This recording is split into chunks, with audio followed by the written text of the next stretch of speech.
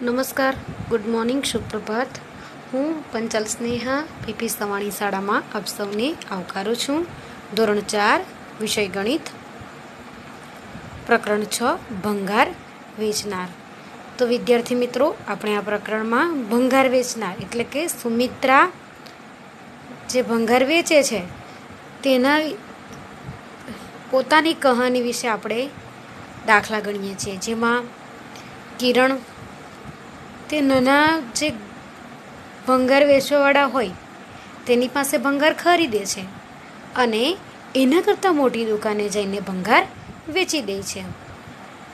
જેના દ્વારા તે પૈસા કમાય છે. ચતુર કિરણ ભંગાર વેચે છે.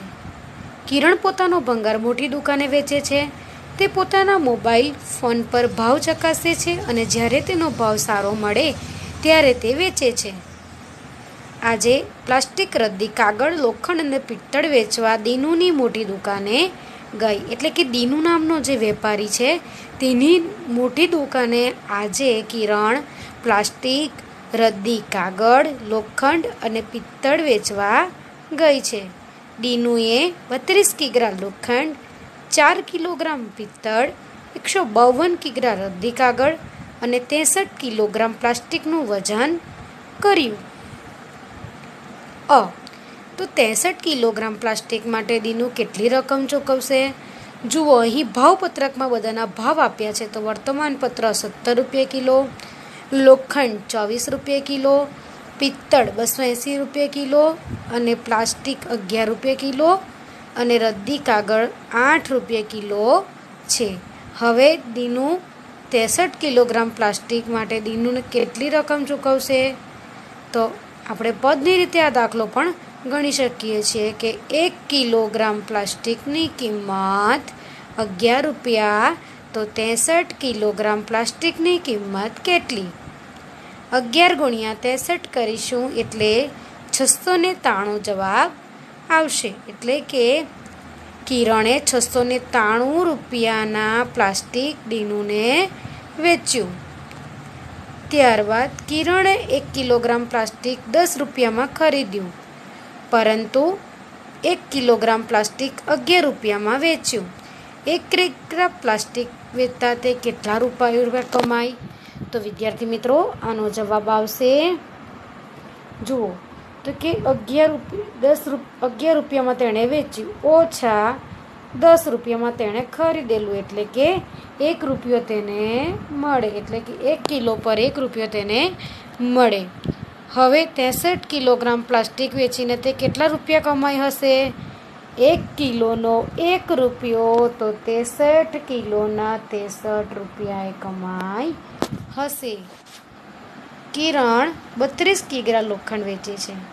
દીનું બત્રીસ કિલોગ્રામ લોખંડના કેટલા રૂપિયા ચૂકવશે? તો એક કિલોગ્રામ લોખંડની કિંમત કોષ્ટકમાં જોઈએ તો કે ચોવીસ છે.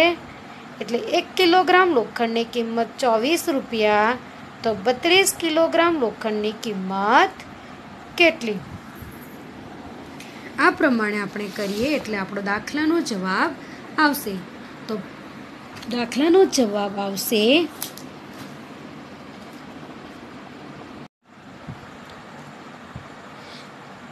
એક કિલોગ્રામ લોખંડ વેચવાથી જુઓ, એને લોખંડ બાવીસ રૂપિયામાં ખરીદે છે અને ચોવીસ રૂપિયામાં વેચી દે છે.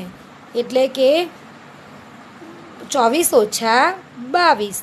એટલે કે કેટલા થશે? તો કે બે રૂપિયા કમાય તો તે બત્રીસ કિલોગ્રામ લોખંડ વેચે તો કેટલા રૂપિયા કમાય એક રૂ, એક કિલોગ્રામ લોખંડ વેચે તો બે રૂપિયા કમાય તો બત્રીસ કિલોગ્રામ લોખંડ વેચે તો કેટલા રૂપિયા કમાય?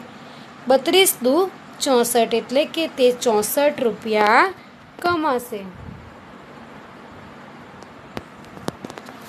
ચાલ, ત્યારબાદ દીનું એકસો બાવન કિલોગ્રામ રદ્દી કાગળના કેટલા ચૂકવશે? તો રદ્દી કાગળ આઠ રૂપિયા કિલો છે. તો એક કિલોગ્રામ રદ્દી કાગળના આઠ રૂપિયા, તો એકસો બાવન કિલોગ્રામ રદ્દી કાગળના કેટલા?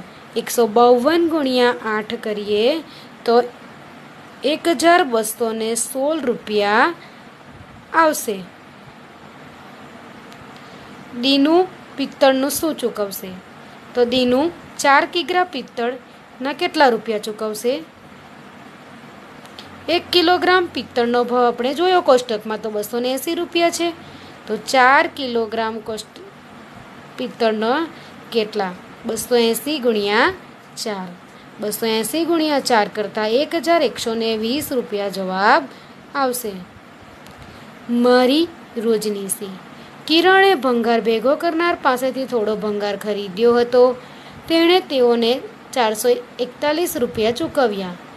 કિરણે દીનુની મોટી દુકાને આ ભંગાર વેચ્યો અને દીનુએ તેને આ પ્રમાણે નોટ અને સિક્કાઓ આપ્યા. જુઓ સો સોની છ નોટ છે, વીસની સાત નોટ પાંચ રૂપિયાની આઠ નોટ એક રૂપિયાના સિક્કા ચાર, ત્રણ નોટ પચાસ રૂપિયાની અને છ નોટ દસ રૂપિયાની. તો હવે ગણતરી કરીએ.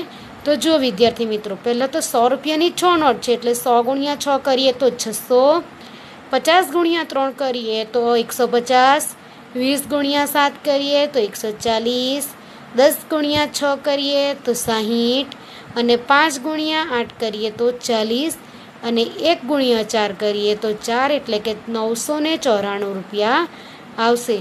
હવે કુલ તેને નવસો ને ચોરાણું રૂપિયામાં થયા અને કિરણે નાના ભંગારવાળાને કેટલા આપ્યા તો કે આઠસો ને એકતાલીસ રૂપિયા. તો ભંગાર દીનુને વેચી એકસો ને ત્રેપન રૂપિયા કિરણને મેળવ્યા. ત્યારબાદ આગળ જોઈએ. તો કે પછીથી કિરણે ભંગાર લેનારને રૂપિયા નવ હજાર એકસો ને નવજો નવસો ઓગણીસ ચૂકવ્યા, ત્યારે તેણે ભંગાર વેચ્યો જ્યારે દિનુએ આ પ્રમાણે નોટ અને સિક્કા આપ્યા.